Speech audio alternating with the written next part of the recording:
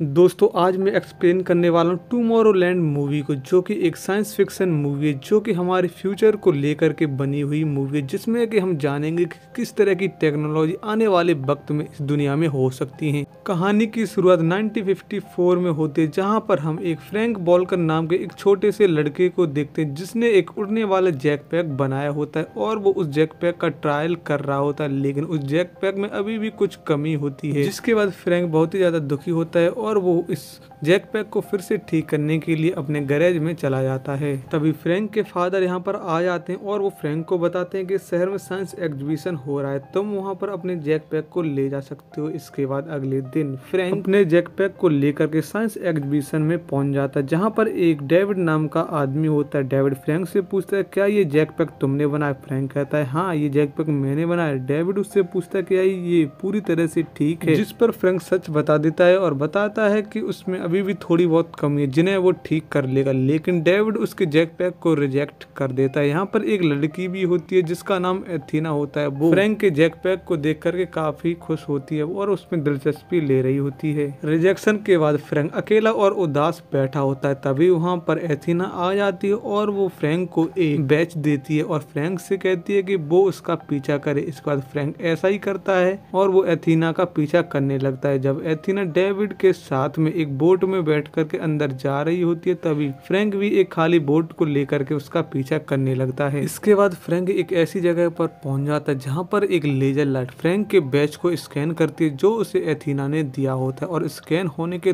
तुरंत बाद ही फ्रैंक की बोट नीचे जाने लगती है और बोट एक कमरे के सामने जा करके रुक जाती है। इसके बाद फ्रैंक अपने जैक पैक को लेकर के इसके अंदर चला जाता है और ये कोई रूम नहीं होता, बल्कि कोई मशीन होती है, जो फ्रैंक को अगले ही पल किसी और जगह पर पहुँचा देती है, जिसके बाद फ्रैंक जब इस रूम से बाहर निकलता है तो उसके सामने एक बड़ा सा रोबोट होता है। जिसके बाद ये रोबोट फ्रैंक के जैक पैक को ले लेता है और उसे पूरी तरह से ठीक कर देता है। तभी यहाँ पर दो आदमी आने लगते हैं, जिन्हें देख करके फ्रैंक नीचे गिर जाता है। फ्रैंक जब नीचे गिर रहा होता है, तभी वो अपने जैक पैक को ठीक कर लेता है और बच जाता है। तभी वो देखता है, उसके सामने एक नई दुनिया होती है, जो की टेक्नोलॉजी से भरी हुई होती है। इसके बाद फ्रैंक एथीना के पास पहुँच जाता है और उससे पूछता है ये कौन सी जगह एथीना बताती? ये है टुमोरो लैंड फ्रैंक उससे पूछता है तुम मुझे यहाँ पर क्यों लेके आई हो? एथीना बताती है, असल में तुम बहुत ही ज़्यादा बुद्धिमान हो और तुमने खुद से ही एक जैक पैक बनाया है। इसीलिए तुम्हें टुमोरो लैंड ने चुना है। असल में एथीना का काम होता है कि वो धरती पर मौजूद बुद्धिमान लोगों को टुमोरो लैंड में लेकर के आ जाए। इसके बाद फ्रैंक यहीं पर रहने लगता है और हम काफ़ी साल फ्रैंक को देखते हैं, जो कि अब काफ़ी बूढ़ा हो चुका है। इसके बाद कहानी को हम 2015 में देखते हैं और हम धरती पर एली नाम की एक लड़की को देखते हैं जो नासा के एक स्टेशन को हैक कर रही होती और उसमें छेड़छानी कर रही होती। असल में एली के पिता नासा के एक साइंटिस्ट होते हैं।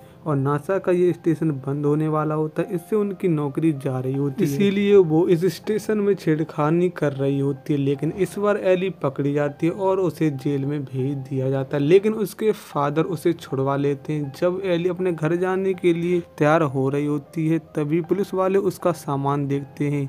तभी एली को उसमें एक पिन दिखाई देता है, जो कि उसी पिन जैसा होता है, जैसा कि एथीना ने फ्रैंक को दिया होता है। इसके बाद एली जैसे ही इस पिन को छूती है तो एली टुमारो लैंड में पहुँच जाती है और उसके सामने भविष्य की दुनिया होती है, जो कि टेक्नोलॉजी से भरी हुई होती है, जहाँ पर सारी चीज़ें हवा में चल रही होती है। एली ये देख करके हैरान रह जाती है, लेकिन यहाँ के लोग एली को नहीं देख सकते हैं। एली अब टुमारो लैंड में घूमने लगती है, तभी वो देखती है कि उसके पिन के पीछे एक रिवर्स टाइमर चल रहा होता है, क्योंकि ये एक रिकॉर्डिंग होती है। तभी पिन का टाइमर खत्म हो जाता है और एली वापस से धरती पर आ जाती है। इसके बाद एली अपने फादर को इस बैच के बारे में बताती है। जब उसके फादर उस बैच को छूते हैं तो वो टुमोरो लैंड नहीं देख पाते हैं, क्योंकि ये बैच सिर्फ़ एली के लिए ही बना होता है। इसके बाद एली टुमोरो लैंड जाने के लिए बहुत ही ज़्यादा उत्साहित हो जाती है और वो टुमोरो लैंड के बारे में और जानना चाहती है। इसके बाद एली घर पर आते ही अपने छोटे भाई के साथ में इंटरनेट पर इस पिन को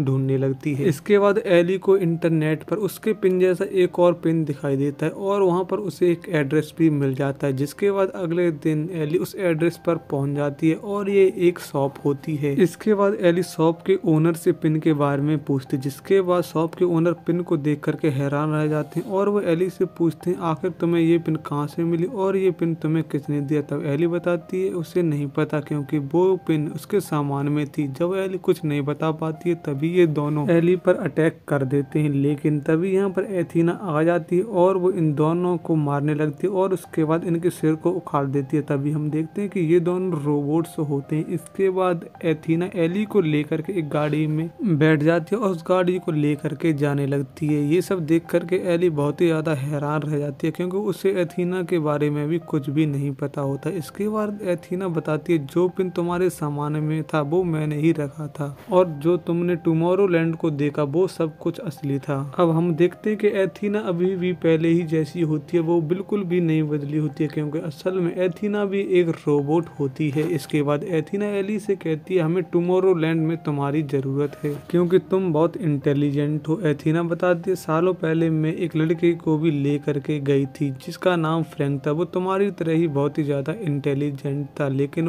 उसने कुछ ऐसी चीज़ बना दी, जिसके बाद उसे टुमारो लैंड से निकाल दिया गया था। अब हमें उसे भी लेकर के जाना होगा, क्योंकि वो अभी धरती पर रहता है। इसके बाद एथीना एली को फ्रैंक के घर के सामने उतार करके चली जाती है। जिसके बाद एली जब फ्रैंक के घर के अंदर जाती है, तभी एक डॉग भागते हुए एली के पीछे पड़ जाता है। लेकिन एली को पता चल जाता है, ये नकली है, क्योंकि ये एक होलोग्राम होता है, जो फ्रैंक ने बनाया होता है। इसके बाद एली घर के दरवाजे पर पहुँचती है और अपना पिन कैमरे में दिखाती है और रैंक से पूछती है कि वो टूमोरो लैंड किस तरह से जा सकती है। फ्रैंक कहता है टूमोरो लैंड जैसी कोई जगह है ही नहीं, वो उसके लिए मना कर देता है। लेकिन एथीना नहीं मानती है और वो फ्रैंक के बाहर एक मशीन होती है, जिसमें आग लगा देती है और उसे स्टार्ट करके फ्रैंक के घर की ओर भेज देती है। जिसके बाद फ्रैंक जब मशीन को अपने घर की तरफ़ आते हुए देखता है तो फ्रैंक जल्दी से बाहर आ जाता है और वो एक डिवाइस की मदद से इस मशीन को बर्फ़ में जमा देता है। इसी बीच में एली उसके घर के अंदर घुस जाती है और दरवाजे को बंद कर लेती है। अब एली फ्रैंक से कहती है, वो तभी दरवाजे को खोलेगी जब फ्रैंक उसे टुमारो लैंड ले जाएगा। इसके लिए फ्रेंड मान जाता है और वो अंदर आ जाता है। तभी एली एक कमरे में जाकर के देखती जहाँ पर बहुत सारे मॉनिटर्स चल रहे होते हैं और उन पर धरती के तबाह की तस्वीरें आ रही होती हैं। इसके बाद एली फ्रैंक से पूछती ये सब क्या है? तब फ्रैंक बताता है, ये धरती का भविष्य और धरती साठ दिनों के बाद में नष्ट होने वाली है। लेकिन एली इसे मानने से इनकार कर देती जैसे ही एली इसे मानने से इनकार करती है तभी स्क्रीन पर धरती के खत्म होने की परसेंटेज में कमी आ जाती है, जिसे देख कर के फ्रैंक हैरान रह जाता है और वो समझ जाता है कि धरती को अभी बचाया जा सकता है। क्योंकि अगर धरती के लोग अभी भी धरती को बचाने की कोशिश करें तो धरती के भविष्य को बदला जा सकता है। तभी फ्रैंक के घर पर कुछ रोबोट्स आ जाते हैं और वो इन दोनों पर अटैक करने लगते हैं, जिसके बाद फ्रैंक एली को लेकर के एक बाथरूम में जाता है और बाथ में बैठ जाता है। तभी ये बाथ तब देखते देखते एक कैप्सूल में बदल जाता है। जिसके बाद ये बाथ टब हवा में लॉन्च हो जाता है, जिसके बाद में ये टब पास ही के एक तालाब में जा करके गिरता है। असल में फ्रैंक ने इस सब की तैयारी पहले से ही कर रखी होती है। तभी यहाँ पर एथीना आ जाती है और वो इन दोनों को अपनी गाड़ी में बिठा करके ले जाने लगती है। इसके बाद हम देखते हैं कि फ्रैंक एथीना पर गुस्सा होता है, इसलिए वो अभी भी उससे बात नहीं कर रहा होता है। असल में जब एथीना फ्रैंक को टुमारो में लेकर के गई थी, तब फ्रैंक को एथीना से प्यार हो गया था, लेकिन एथीना ने अपने रोबोट होने की सच्चाई उससे छुपाई थी, जिसके बाद जब फ्रैंक को उसकी सच्चाई पता चली तो उसका दिल टूट गया था।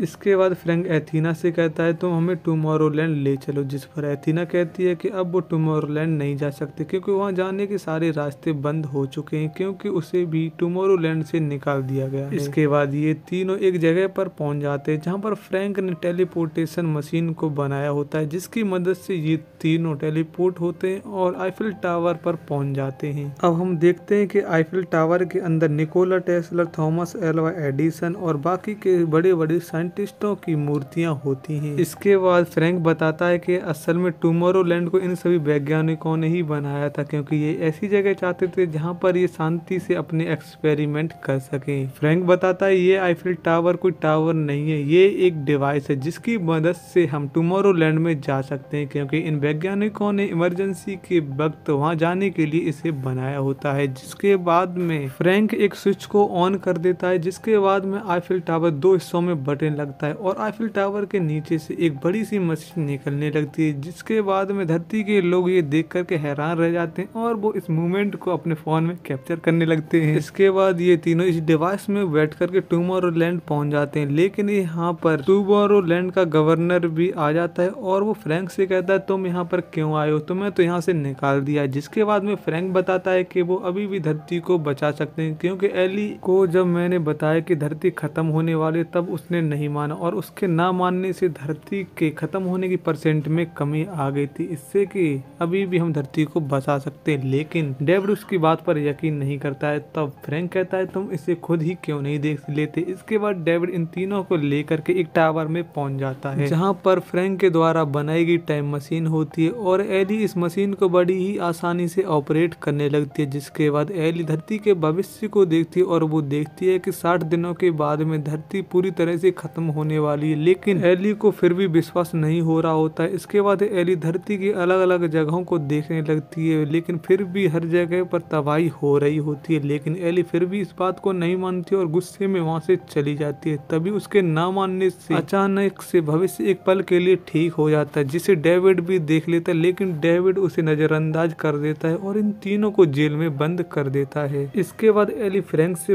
पूछती है आखिर तुम धरती पर बैठ कर के वहाँ पर भविष्य कैसे देख रहे थे? जो यहाँ पर टुमोरो लैंड में ये मशीन दिखा रही थी। तब फ्रैंक बताता, ये मशीन धरती पर कुछ अलग तरह की फ्रिक्वेंसी भेज रही होती, इसीलिए मैं धरती पर बैठ कर के उन फ्रिक्वेंसी को कैप्चर कर लेता था, जिससे कि मैं भविष्य को देख रहा था। अब एली समझ जाती है और वो फ्रैंक से कहती है, हमें इस मशीन को नष्ट करना होगा, क्योंकि ये मशीन जो फ्रिक्वेंसी भेज रही है, वो इंसानों के दिमाग में भी जा रही, जिससे कि इंसान मान चुका है कि धरती साठ दिनों बाद खत्म हो जाएगी। इसीलिए वो धरती को बचाने के लिए कुछ नहीं कर रहे हैं। इसके बाद में डेविड इन तीनों को धरती पर भेजने की तैयारी कर रहा होता है। तब फ्रैंक डेविड को सब कुछ बता देता है, लेकिन डेविड फिर भी उसकी बात पर यकीन नहीं करता है। असल में डेविड ही होता है जो इस मशीन की फ्रिक्वेंसी को धरती पर भेज रहा होता है, क्योंकि डेविड चाहता है कि धरती नष्ट हो जाए। क्योंकि धरती के नष्ट होने के बाद में वो टूमोरो लैंड जैसे ही धरती को बनाना चाहता है। जब डेविड उसकी बात नहीं मानता है, तब फ्रैंक डेविड से लड़ने लगता है और लड़ते हुए ही धरती पर जाने का पोर्टल खुल जाता है और ये दोनों धरती पर पहुँच जाते हैं। वही टूमोरो लैंड में एथीना मशीनों से लड़ रही होती है, जिसके बाद में एथीना एली को एक टाइम बॉम्ब देती है और उससे कहती है, तुम इसे ऊपर ले जाओ और इसे टाइम मशीन में डाल देना, जिसके बाद वो नष्ट हो जाएगी। जब एली बॉम्ब को लेकर के एलिवेटर के ज़रिए ऊपर जा रही होती है, तभी एलिवेटर फिर से नीचे आने लगता है। अब टाइम बॉम्ब भी